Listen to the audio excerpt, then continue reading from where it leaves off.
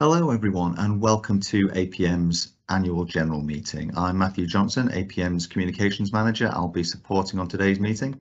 Thank you very much for joining us today. Just a polite reminder to all attendees to please place your microphones on mute to avoid any unwanted background noise. There will be dedicated points in the agenda for questions and we certainly invite you to submit any questions you may have on today's proceedings using the chat bar. We will try to answer as many as we can in the time that we have. Also to make everyone aware, we are recording today's meeting as well. But it's now 10.30, so without further ado, I'll hand over to our chair for today, APM President Sue Kershaw. Lovely. Thank you very much, Matthew, and welcome to everyone on the call. Um, it's so good to be able to reach out to so many people at the same time. Um, it's fantastic. So just a, a, few points of admin, if I may, before we kick off. Um, as ever, we expect courteous behaviour, so do ask your questions in the way you would like to be asked those questions. Um, the session will be recorded, as you can see the red button on the, on the left, and it will be posted online afterwards. Papers for the event are on the web page, but also in the chat. If you see on the right hand side there, there are all the papers, the agenda, the full annual report, uh, draft charter changes and members annual review. So they're all there for your use. Um, attendees will be muted, so please remain muted unless invited to speak and the same for cameras as well, so we don't overload the system. And timings wise, we should be finished um, by about 11.30 and only full and fellow members are eligible to vote. So now if I may introduce the team, firstly Mila Mazulu, Board Chair. You can put your camera on, Mila.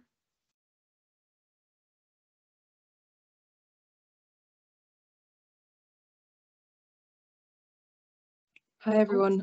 Hey. Okay. Hi, hi. Yes, we can indeed. Thank you. And next, good morning. Um, next, Adam Boddison, Chief Exec. Good morning. And Mike Robinson, Company Secretary. Good Morning. Morning, Mike. Uh, Mark Hepworth, Deputy Chief Executive. Morning. Morning. And we have the wider leadership team online as well, just in case we need some help. So I'll hand over now to Mike, if I may, um, for apologies of absence. Thank you very much, Sue. Just two apologies to read out today. I've received them from Graham Godding and Peter O'Dowd. Thank you. Brilliant. Right, so now I'm just going to um, say a few words, if I may, to put things in context and um, from my view as well. So it's a real privilege uh, for me to give the presidential address, and this is my third one so far. And of course, AGMs are a really important part of governance of any membership body. Members are not just customers, you have a key role to play in our governance, and that can be seen on the agenda today. And to be honest, without all your hard work and dedication, the AGM wouldn't be what it is today. The APM is accountable to you, and today we report our progress and plans. We affirm the new trustees you've elected, and we ask for your approval to the update of the Royal Charter. We are holding our AGM virtually for the second time, and this gives us the opportunity, as I said, to reach out to so many more people. I was delighted to hear the number of registrations has reached a new high and the feedback from one member, an overseas member of more than 40 years, who said he appreciated the online approach and was looking forward to now taking part in the AGM. This will be our second AGM too with Adam Boddison as our Chief Exec. I said last year how I was struck by his enthusiasm. He hasn't let me down this year. It's as strong as ever, Adam, and you're out there all over the country meeting our supporting members and advancing the cause of project management with many, many different organisations. It's also our first AGM with Mila Mazulu as chair of the board, and I'm delighted to welcome her to that position. Mila has a wealth of talents and will help drive us forward. I know she has been a valued trustee and has considerable experience in our profession and the rail sector. She's been a valued volunteer and I was delighted to hear she received the British Empire Medal earlier this year. Fantastic news, Mila. I'm confident Mila will be able to fill the big shoes left by Debbie Lewis, our outgoing chair. Debbie has provided truly excellent leadership and we're very grateful to her. She remains a close friend of APM and I'm pleased she will remain involved in the board's committees. You'll hear in a minute from Mila and Adam on the reporting accounts, and indeed the achievements milestones we achieved in our previous business year, which will be set out in the upcoming APM members review. But I would like to mention three areas that I'm really proud of that we're making progress. First and most obvious is the new brand. You can see in some of the backdrops people have, it was launched at the end of October. Still feels new, but looks absolutely fantastic. My thanks go to everyone who worked on that launch. I know it's a huge undertaking and it's so good to do it in APM's 50th year. And on the 50th anniversary, we saw celebrations across the full breadth of the APM community we all did so much to promote project management through those celebrations, including publishing our list of 50 inspiring projects, which were printed online and in a new memorial book. A media campaign saw that APM gain coverage on this in several national newspapers and created a new exciting suite of content for the APM's website, social media accounts and our face-to-face -face events. And of course, we launched our new strategy, this was another huge undertaking because we had to ensure we got it right. And I think it's safe to say that so far we have done just that. Membership numbers are up again, with 1,700 new members bringing the total to 37,000. That's colossal.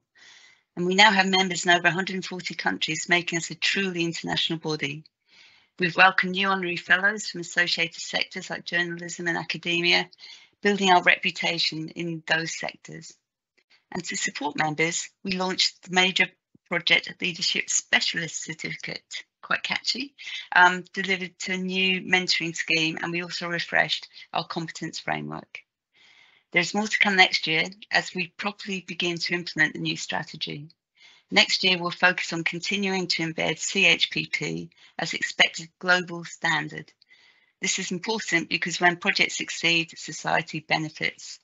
I think it's important to recognise the incredible amount that has been achieved this year and how this sets us up for more of the same or even better in 2023. Over to Adam and Mila now to expand on this. Thank you.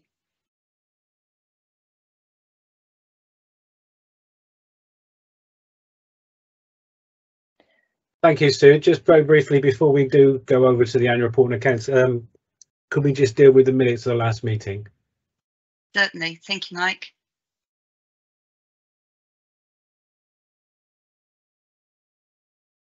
So we'd like to um, ask everyone gathered to approve these minutes of the meeting.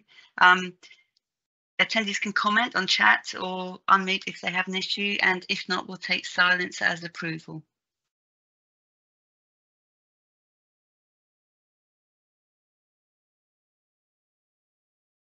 I think that's approval, Mike. Thank you. So over to, to Mila, I think in the first instance. Thanks very much, Sue. Thank you, Mike. Um, and good morning, everyone. I'm, I'm so pleased. I'll just start off by saying how absolutely thrilled I am to see uh, so many of you who've dialed into this call. This must be an absolute record for an annual general meeting. Um, uh, welcome, thank you for coming. Uh, please um, uh, do engage with us uh, throughout this meeting. If you've got questions to ask, we'll take them ideally at the end of um, this particular session, but use the hands up feature um, to, uh, to let us know if you'd like to ask anything. I'll just start off uh, with a bit of a review of 2021 uh, slash 2022, the last financial year, um, and I'll move us uh, onto the uh, slide, which just identifies our organisational values. I thought it would be quite helpful to start with this so that you can all just get a refresh on what the organisation sets out to achieve and the way it sets out to behave. Um, the values are uh, for us to be progressive, thoughtful, warm and excellent. Um, and the slide here just shows you a few examples of what we mean by that as an organisation. I won't read through all of them. I'll just pause for a minute or so just while you just quickly scan through. The slides will be made available for you to review afterwards. So I would, would encourage you to read through these examples but I'll next move on to um, just talking you through a little bit about our organisational structure and our governance structure. And on the next slide, you'll see our Board of Trustees. Uh, and I'm really, really pleased uh, to be able to work with the trustees for the next uh, sort of year or so um, on settling down and bedding in some of the wonderful projects that have just been launched this year, including our rebrand. Of course, as we all know, the whole purpose of the association is to help the project profession deliver better. And on the next slide, what you'll see are a few of our uh, uh, key sort of unique selling points as an organisation. We're a chartered organisation and we're here to build the profession's profile and set the standards for the profession. We're the only chartered membership organisation for the profession in the whole world um, and we're a registered charity. Our activities are very broad, um, but uh, we do work on uh, sharing best practice, leading debate, um, but we're more than just process focus. Uh, we want to challenge the status quo and champion innovation and and uh, uh, and and clever thinking. We want to help the project profession deliver better because when we do that and when projects succeed, the whole of society benefits. What we've done this year is we've also worked on refreshing our strategic framework in line with these values and this uh, um, uh, vision. Uh, and you see here a summary of the uh, structure that we're following for this. And at the top, you'll see that our vision is of a world in which all projects succeed, which is supported by the mission and the charitable objectives for the organisation, which are to advance the science, theory and practice of project and programme management for public benefit. This is underpinned by the four values that I mentioned previously and some strategic themes that we've aligned to that. Of course, our mission and our vision are what drives us forward. And our next slide will just show you that. Our mission is to advance the science, theory and practice of project and programme management for the public benefit so that we can end up in a world where all projects bring ultimate success. The next few slides will show you a little bit of our journey um, over the uh, past few years and some of the some of the things that we're really, really targeting at the moment. We really want to leverage the chartered status. We want to raise the standards and increase membership. We also want to have the right partnerships in place so that we can benefit and share risk as part of an overall ecosystem. We want to be a progressive organisation, collaborating and providing insight, and also being adaptive.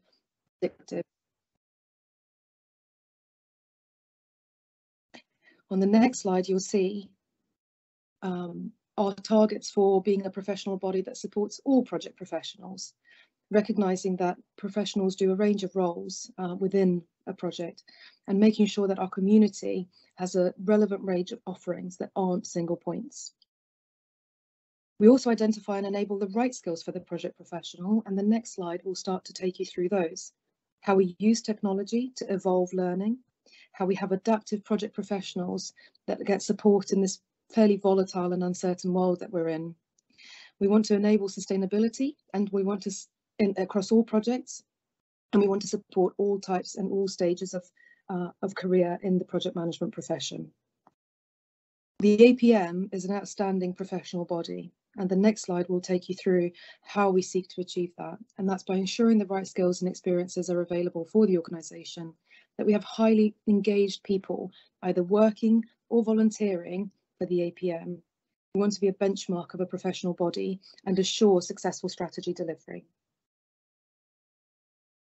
A couple of our successes uh, have already been picked out by Sue in her speech, and I'd encourage you to read more about them. The next slide tells you a little bit about the uh, APM Major Project Leadership Specialist Certificate, which is an assessment that's been designed to recognise the skills and competence of those who lead either major projects, programmes or portfolios. We also have a very strong community focus to the APM and the next slide shows you a little bit about that. Alongside our APM uh, branches and specific interest group communities, we have the APM community platform, which is exclusively available to our members. This has been created so that there is a safe and welcoming environment for our members to support each other, to find a mentor and to work together so that they can realise their potential. I would really, really warmly encourage you to let us know if there's any um, of our volunteering opportunities that you'd like to be involved in. I'll just now uh, take a pause. Thank you for your time and I'll pass you over to Adam who will take you through a review of 21 slash 22 from his perspective as Chief Executive Officer. Thanks very much, Mila. Uh, next slide, please.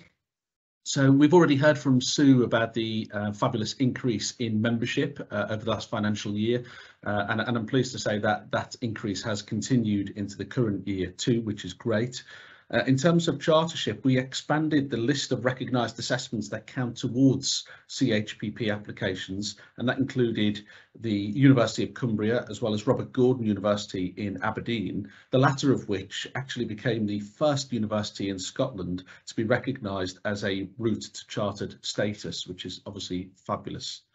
Um, in terms of knowledge and research, it was a very strong year for us. Uh, we had a number of key publications that extended our knowledge and really helped us to engage with audiences globally. Uh, and also our APM Research Fund received one of its highest number of submissions uh, to date, which is which is fantastic. In terms of the um, uh, key uh, research reports, you'll see on the screen here, we've got the dynamic conditions for project success, which was um, probably one of the most significant reports uh, of the year for several reasons, partly because it, it, it led directly into the updated uh, third edition of the competence framework. Um, and now that process itself involved a year-long consultation to gain views from across the profession and updating existing uh, competencies, but, but as a direct result of the dynamic conditions for project success research, we also included two new competencies, one around sustainability and another around diversity and inclusion. And actually the updated edition of that framework was accompanied by the launch of an online self-assessment tool which allows users to benchmark and save uh, progress at their own pace, which is excellent. We also obviously launched our mentoring program, something which members had been asking for. And by the end of the financial year, we had 179 active mentors in place and 70 uh, working mentoring pairs. And, and again, that's continued to grow into the next financial year too. And then just on hybrid, of course, which is this new world that we're all operating in at the moment, uh, the 2021 APM Project Management uh, Awards was our first ever hybrid event. Um, and we had attendees joining both in person and of course online. And it was the first time that we streamed across four platforms, so Twitter, Facebook and LinkedIn, as well as our own website. And we had twice as many people actually watching the streamed version of the event as there were in person. So really very successful. Uh, next slide, please.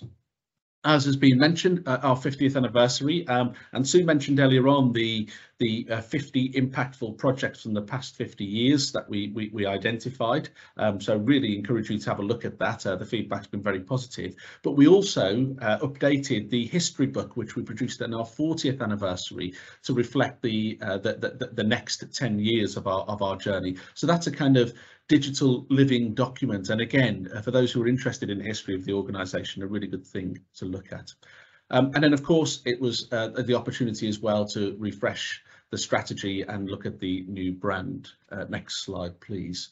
Um, on the brand, it's just worth saying, although the, the, the new brand launched in October of this year, which is effectively the, the, the, next financial year to the one we're reporting on.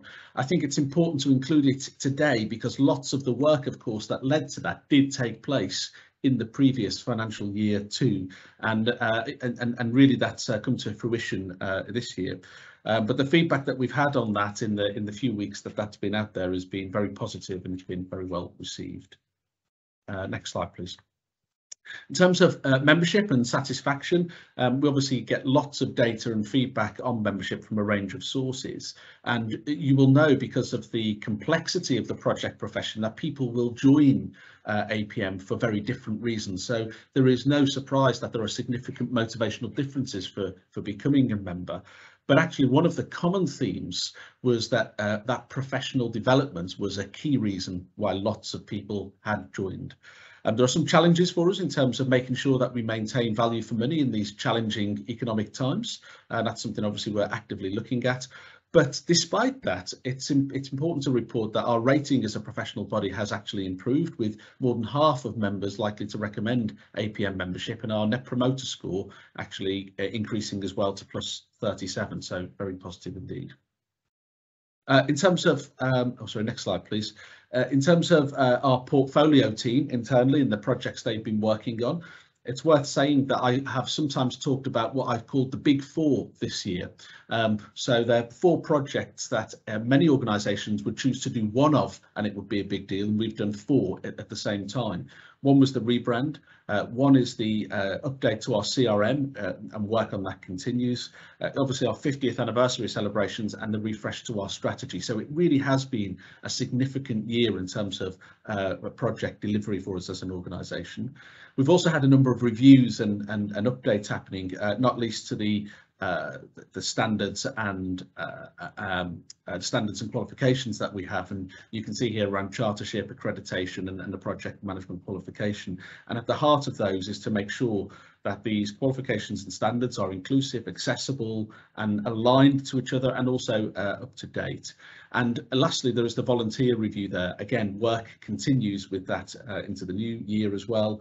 Um, and I repeat what I said at the volunteers forum I attended when I was three weeks into the role uh, last year, which is that I really want this to be a golden era for our volunteer community. And this review will significantly contribute towards that. Uh, next slide, please.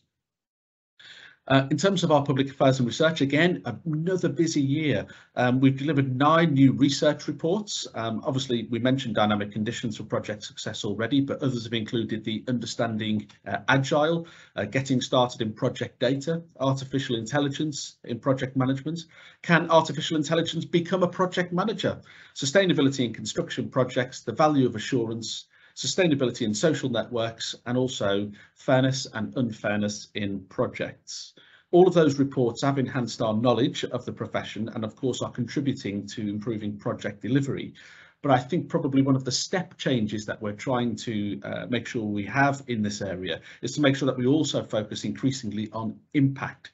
And that's about ensuring that the recommendations and evidence that we get from this research and insights actually informs practice and policy. And we do that through a broad range of events with key stakeholder groups, um, and that includes corporate partners and of course government departments. Uh, next slide, please. Uh, just to reflect a bit more on volunteers, uh, in that last financial year, we had more than 700 volunteers in our volunteer community, and, and they spanned 15 different countries, um, and 250 plus apprentice and graduate ambassadors supporting our outreach events. Uh, I mentioned earlier on about the 179 members involved in the, in the mentoring programme, uh, and we actually had more than 200 events that were delivered uh, with our volunteers, both in person and online. And lastly, just a, a reflection going forwards. Uh, next slide, please. Uh, on what the focus is going to be for the remainder uh, of the current year. So first of all, there's several things that we're going to continue. I mentioned the CRM uh, work. Obviously, that's a, a, a, big project and to work on that will continue. We obviously want to continue to leverage our chartered status uh, and that's an ongoing piece of work too. And of course, the reviews that I mentioned uh, earlier as well. Uh, two points just to reflect on a, in a bit more detail. So first of all, collaboration in the spirit of one project profession. What I'm talking about here is that there are a number of uh, associations, both professional bodies, but also uh, private organisations as well that operate in and around the project profession. And I think our members and the project profession community expect us to collaborate and work together in that spirit of one profession. And that's very much the type of approach that we have had and will continue to have going forward is what one of looking at how can we best collaborate with everybody else that's uh, playing in this space. And then lastly, what I'm calling 110 100. Um, and, and this is really um, to give some sense of how we set our sights for the future and what success looks like in the context of our refreshed strategy. Um, and the question I've been asking internally uh, and increasingly I'll be asking externally as well is what would it take for us to become an organisation that has 1,000 uh, 1,000 corporate partners, 10,000 chartered project professionals and 100,000 members. And the reason I'm asking that question is because I want us to have an equivalent status to very established professional bodies. And when you look at those professional bodies, actually a lot of them have a profile which is not dissimilar to that. So that's very much uh, a key part of, of our journey.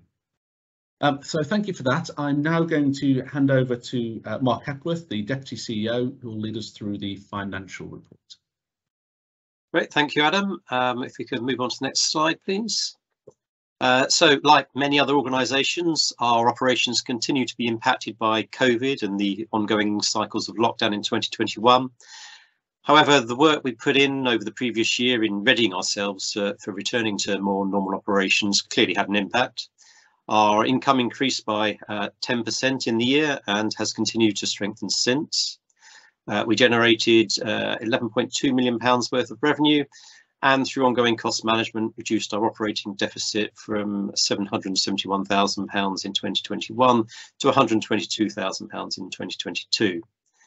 Our investments continue to improve, leaving us with a net surplus of 189,000 pounds compared to a net deficit of £114,000 the previous year.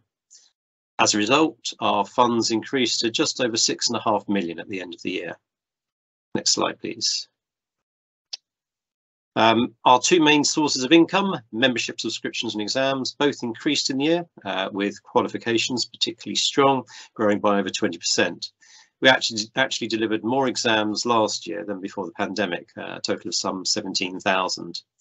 Uh, publication was down a little compared to the prior year as we'd launched the Body of Knowledge BoK 7 in 2020. Um, whilst it's early days, we saw some recovery in our events income as we gradually eased into returning to face-to-face. Overall, income grew by a 1 million pounds, which is a great achievement in difficult conditions. Next slide, please. Uh, and as our income increased, uh, the cost of delivery also grew, but but at a lesser rate. Uh, our average headcount was slightly lower than the previous year, as we started to see some movement out in the last quarter, just reflecting the national impact of the Great Resignation. That's since stabilized, and we're currently running at full capacity. Uh, and as you've heard, uh, investment in new content also rose considerably. Uh, both this and our marketing and communication activities are directly designed to support the profession. Overall costs were around 400,000 pounds more than the previous year, which is actually a little lower than the inflation figure at the end of March. Next slide, please. As both Sue and Adam noted, we ended the year with over 37,000 members, an increase of 6% in the year. All categories grew or at least held pretty steady. Um, and in the five years since March 2017, our membership base has increased by over 60%, uh, with a rise in every year. And I would say that's a good reflection of our ability to bring value to the profession. Next slide, please. And our balance sheet continues to remain strong. Uh, we've come through COVID with our net assets at pretty much the same level as they were in 2019. Our reserves remain well in the range uh, that the board require us to hold. Uh, and that means that we've been able to focus our efforts on implementing the first steps in our strategic plan that uh, was launched in June and that Mila talked about earlier. Um, that's all from me. So do we have any questions on the report and accounts, Matt? There's nothing come through from the chat bar, Mike. Okay. Well, in that case. We're ready to move to the next agenda item. I'll hand over to Mike then.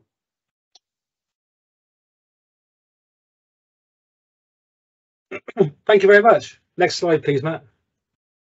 Just want to uh, give you a little bit of background to the Royal Charter, which is, of course, a fantastic accolade for APM and for the profession. But just to explain, it's also our constitution. Um, it's on the website if you are interested in that, and the regulations is in the About Us section. I would encourage everyone to engage with our governance if, as necessary. Um, What we have done since we received the charter is continuously review and refresh whether it still meets our needs. So one of the things we would like to request this time, because it is the annual general meeting, is required to approve any suggested changes to the charter before we forward them to the Privy Council, is a change in relation to the composition of the board. So the background to this stems from an external board evaluation we had. We have uh, an evaluation of our own governance every year because that's best practice, and we want to keep on top of um, best practice and operate in the most efficient way. Last year, was externally facilitated, and the consultant suggested uh, that we review this section. Um, as you know, the majority of the board are elected by the membership, from the membership, and our next agenda item comes on to affirm those trustees who have got onto the board this year. Um, What the charter also enables the board to do is appoint a small number of trustees directly. That's been taking place for a very long time. Three trustees are appointed. Um, what we'd like to do is increase that number to five. Diversity of thought is important for the board, and that would give the board the extra opportunity to appoint a limited number of additional trustees to the board if it sees gaps in its skills, experience, or diversity. So there's a um, a few bits on screen. The important bit is in the document A, which was circulated. Um, and the special resolution that we'd like to agree is that in bylaw 16.3, we delete up to three individuals and replace it with up to five. So as I say, uh, giving the board the opportunity, if it so wishes, to slightly increase the number of appointed trustees. So I will pause at this point. I can't see any questions in the chat. I'm more than happy. I can I can enable microphones if anyone has any queries. But uh, can I ask if every if anyone is unhappy with that? If not, I think it's safe to assume, Sue, that we have unanimity on the proposal and we could take it as read and approved.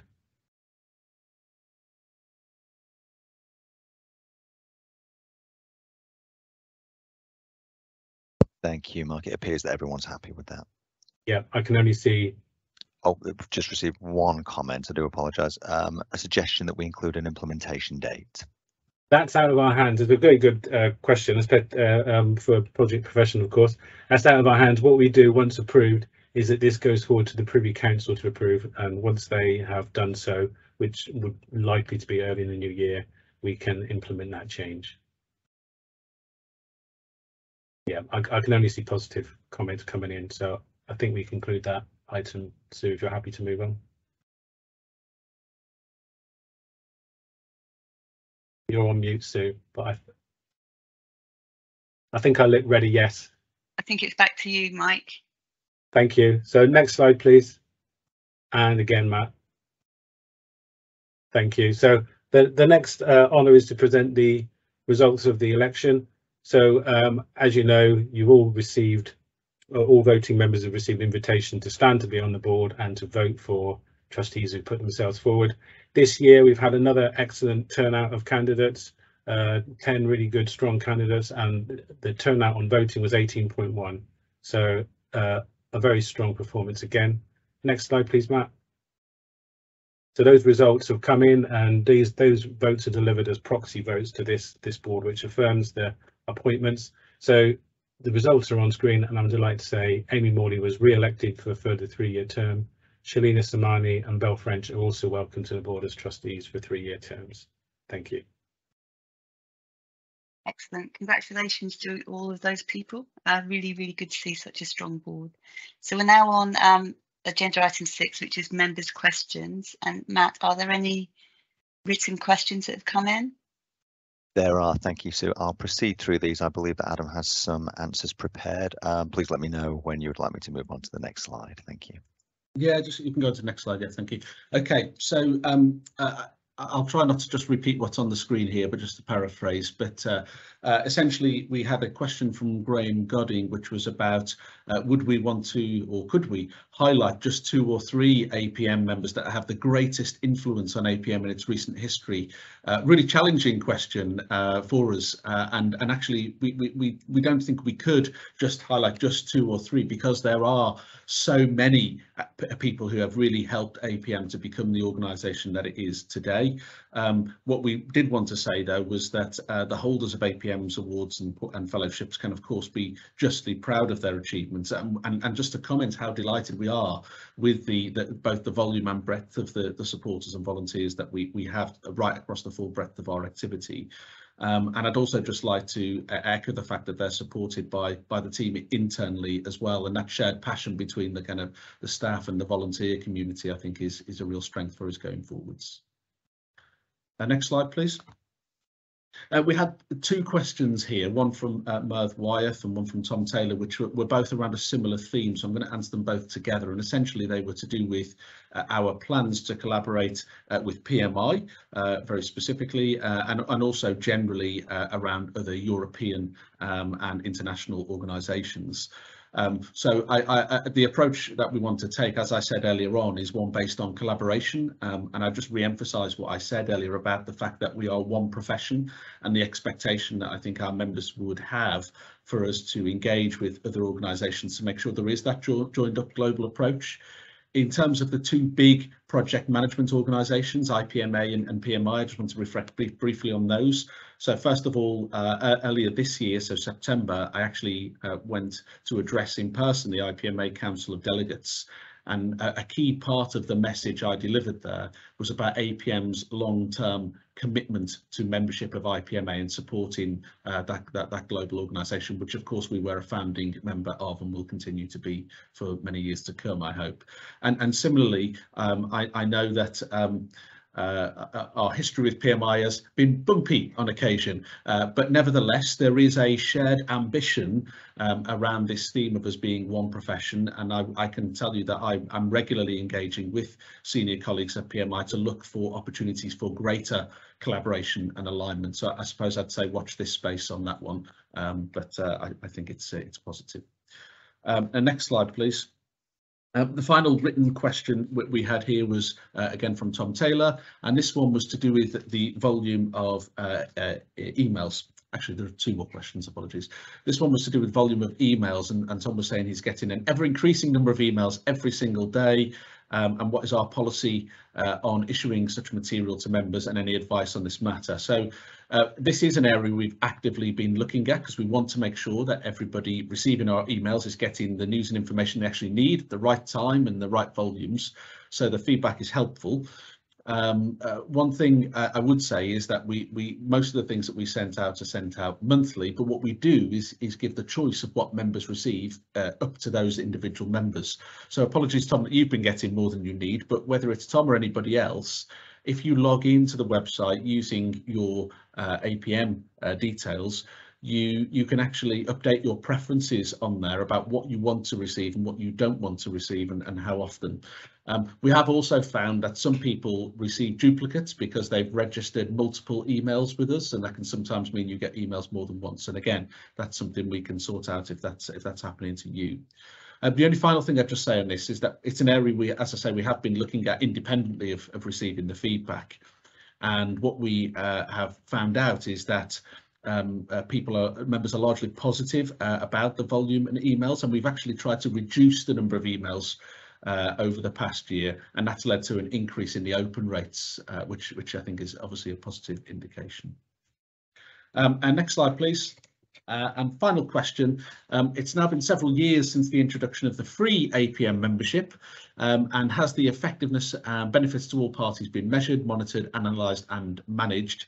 Uh, and in particular here, there's a question about um, conversion to uh, paid for membership. So we've got a bit of data which I know is quite small on, on the slide here, but when you get the slides, you'll be able to, to look at this properly. But to, if it helps, the green bars here are kind of paid for membership and the orange uh, aspects of those bars are, are the student, the free student membership. So you can see that whilst both of it have increased, obviously the student membership has been increasing at a slightly faster rate. Um, so we now have just under 16,000 student members um, and on average we're getting 30 student members who upgrade to paying membership each month. We do have a dedicated outreach team at APM um, who, are, who, are, actively looking at this, so that's why we're, we're, seeing that increase. And we've got lots of initiatives, things like Project Challenge uh, and so on, which are happening uh, in, with local universities and student members. We're constantly looking, of course, to improve the offering that we have for student members and to increase that conversion. And to support that process, we've actually undertaken some uh, independent research this year to give us greater insights into both the student grade and the associate grade of membership.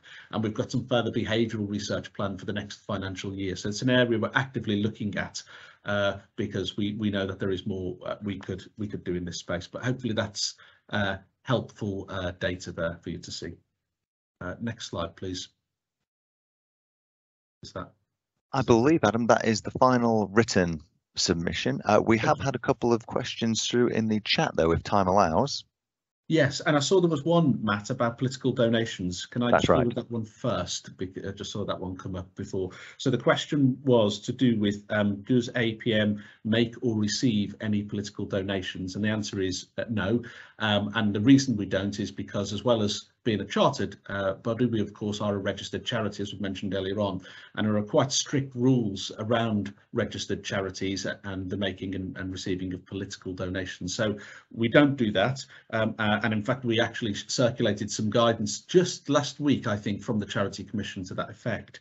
What we do do is have regular engagement uh, with uh, uh, political parties, um, and, that, and, that's through, for example, attending party conferences, actually meeting MPs and so on. And that's around how we maximise our impact and raise the profile of the profession. But on donations, no, we don't make or receive uh, any of those.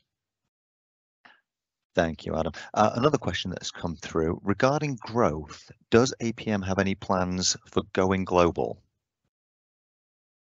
Um, okay, so uh, I think I think it's fair to say that the the board uh, of, APM has always had uh, the, the, kind of global opportunities within it, within its uh, mandate.